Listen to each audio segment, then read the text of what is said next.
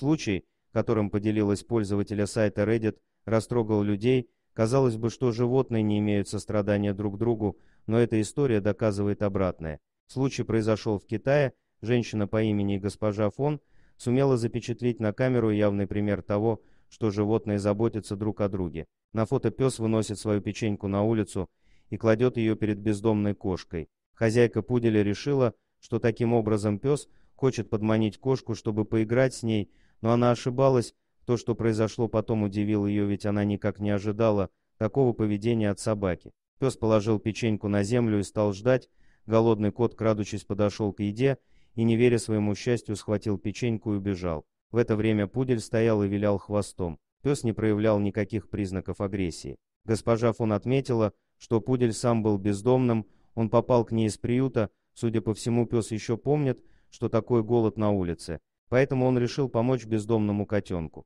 Этот случай в очередной раз доказывает, что собаки очень умные, у них имеется сострадание к ближним. Надеемся, что котенок отлично перекусил и чувствует себя хорошо.